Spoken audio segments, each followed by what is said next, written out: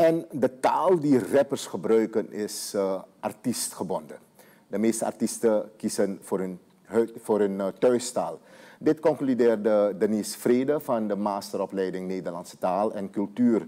Ze presenteerde vandaag haar afstudeeronderzoek met de titel De Party was lid. Met dit onderzoek heeft ze de relatie aangegeven tussen muziekvoorkeur en taalgebruik.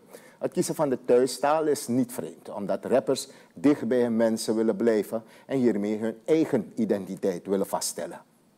Ze willen dat mensen moeten begrijpen waar ze het over hebben, begrijpen waarover er gerept wordt. Wanneer het erom gaat dat de boodschap goed moet overkomen, want deze rappers hebben fans en je moet doen wat je fans willen horen. Als je echt wil dat uh, het een hit wordt, dan wordt er toch voor het Nederlands gekozen. Verder zien we uit het onderzoek dat jongeren van verschillende etniciteit zich in straattaal uiten. Het is niet zo dat um, mensen die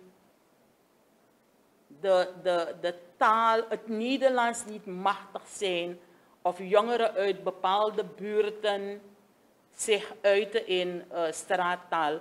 Het is gewoon dat alle jongeren van verschillende etniciteiten zich uitlaten in straattaal.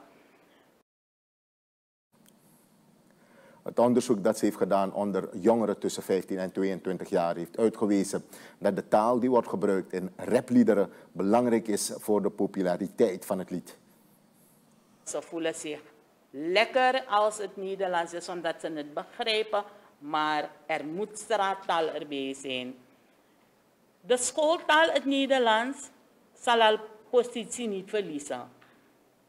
Daar zijn een heleboel mensen bang voor, maar het Nederlands wordt juist verrijkt met straattaalwoorden.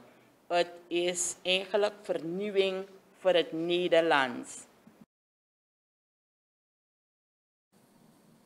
Vrede geeft aan dat vele jongeren in Suriname het meest naar rapmuziek luisteren. Ze kiezen dan vaak voor liederen die gaan over de liefde, armoede of God.